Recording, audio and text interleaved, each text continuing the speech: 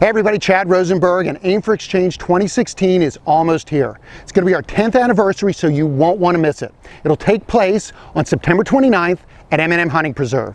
Now you can register as an individual shooter or also as a team, and let me tell you, last year's winners, the Carnie Crushers, have to be taken down.